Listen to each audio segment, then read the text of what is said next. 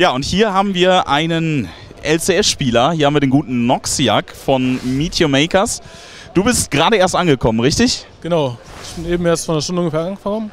Und da habe ich das ESG-Match noch gerade gesehen und jetzt bin ich hier.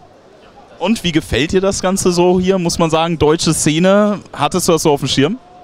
Das ist größer, als ich erwartet habe. Aber die Location ist gut, alles. Das Wetter ist jetzt nicht so gut, aber kann man jetzt nichts machen. Aber es ist schon gut alles. Äh, zu dir natürlich, du bist ja Meteor Makers dann eingesprungen quasi. Kannst du vielleicht kurz zusammenfassen, wie es dazu kam, dass du oder wie ist man dann auf dich gekommen? Wie äh, war so dein, dein, deine Empfindung, deine Erfahrung in der Hinsicht? Ähm, ich bin eingesprungen, weil der alte Supporter underperformt hat. Sie haben sich mehr wohl mit ihm gefühlt und Selfie hat mich halt in der Freundschaftsliste gehabt und er dachte halt, ich bin ein guter Supporter und hat er mich vorgeschlagen vom Team. Und dann haben die mich halt kontaktiert und habe ich gesagt, ja, ich hab Lust und dann lief es halt so ab. Bist du mit deiner eigenen Leistung zufrieden gewesen jetzt rückblickend?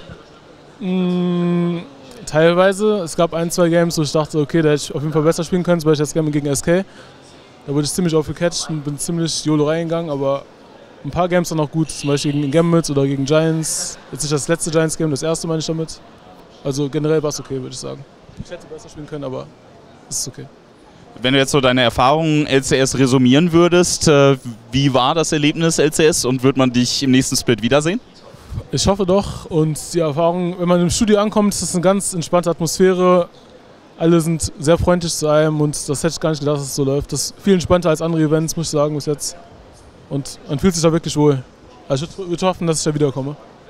Das heißt, äh, wenn du oder im nächsten Split mit ohne Meteor Makers, kannst du da schon was sagen?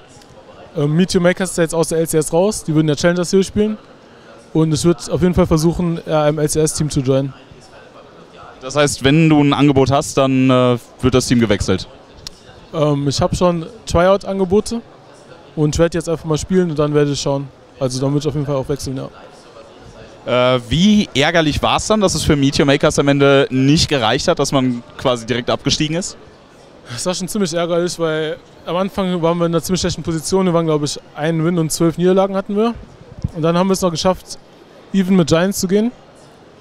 Und dann hatten wir so einen Tiebreaker mit Giants und dann hat es halt trotzdem nicht gereicht, weil wir das eine Game dann verloren haben, weil wir am Baron gestored haben. Und dann war halt die ganze Arbeit davor umsonst. Das war schon ziemlich ärgerlich. Gut, und jetzt bist du aktuell nicht mehr in Berlin, sondern wieder in Köln, richtig? Genau.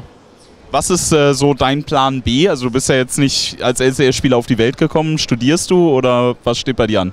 Ähm, ich studiere Geschichte in Düsseldorf, bin jetzt im vierten Semester und ich habe mir halt überlegt, wenn ich jetzt LCS gehen würde nächste Season, dann würde ich ein Urlaubssemester machen und wenn nicht, dann studiere ich halt ganz normal weiter. Wie lief das jetzt allgemein äh, während deines Studiums? Die LCS hat das Studium schon sehr darunter gelitten. Hast du es pausiert oder hat man das irgendwie jetzt für diesen Split noch unter einem Hut bekommen? Du bist ja erst im März, glaube ich, rein, oder? Es war für diesen Split eigentlich perfekt, weil ich hatte gerade ein Urlaubssemester, äh, nicht Urlaubssemester, im Semesterferien. Und ich musste dann einen halben Split spielen und das hat perfekt in die Semesterferien reingepasst und deswegen habe ich gar nichts verpasst. Das war wirklich traumhaft. Hast, hast du bei dir im Studiengang auch äh, den einen oder anderen League of Legends-Fan?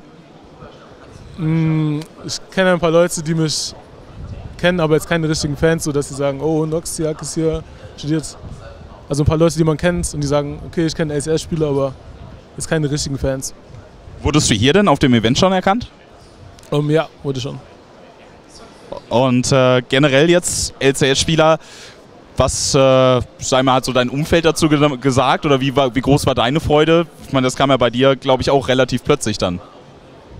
Mm, Mein Umfeld hat das auch mal alles verfolgt, die ganzen Spiele per LCS. Und ja, ich würde jetzt nicht sagen, dass es viel geändert hat. Ist eigentlich alles gleich geblieben, nur dass sie halt die Spiele gucken und sich schon mal freuen. Und die gucken halt mal zu 15 Leuten auf den TS die Spiele und sind mal ganz aufgeregt. Alles klar. Und äh, was sagst du jetzt so zur deutschen Szene? Du hast ja gerade schon gesagt, es ist größer, als du erwartet hast. Ähm, es gibt ja auch den einen oder anderen deutschen Spieler in der LCS. Glaubst du, da werden wir in Zukunft auch noch mehr sehen? Wie ist da deine Einschätzung? Ähm, auf jeden Fall, ich kann mir das gut vorstellen. Es kommt halt immer drauf an. Es gibt aber schon ein paar deutsche Talente, würde ich sagen, die noch Potenzial haben. Wer wäre das? Mm, eventuell Sedrion oder Scottloy, die würden auf jeden Fall LCS-Potential haben.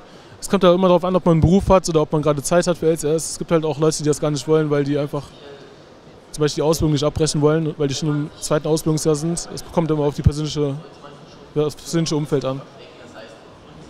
Das heißt, gibt es äh, auch ein Team, für das du heute besonders bist, was du besonders die Daumen drückst? Um, ja, das ist auf jeden Fall ESG. Ich habe mit Avenue in Fnatic Academy gespielt und mit Sartorius habe ich auch in PKD früher mal gespielt.